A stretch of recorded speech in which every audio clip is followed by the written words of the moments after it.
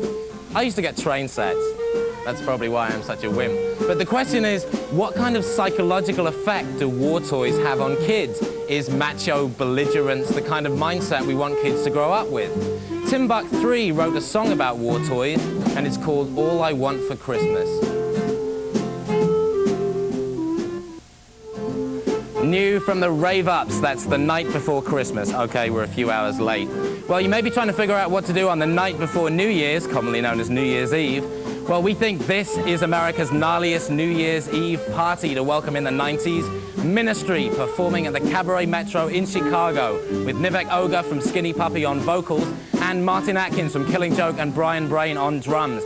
Jello Biafra is also flying in, so they'll do some Lard songs too. After the break, a special Christmas message. That's it for 120 minutes tonight and this year from the Ramones, from Dramarama, from Nine Inch Nails, from the Ordinaires, and from me, Dave Kendall. Merry Christmas, Happy New Year, don't drink and drive, stay alternative. See you in the new year. Merry Christmas.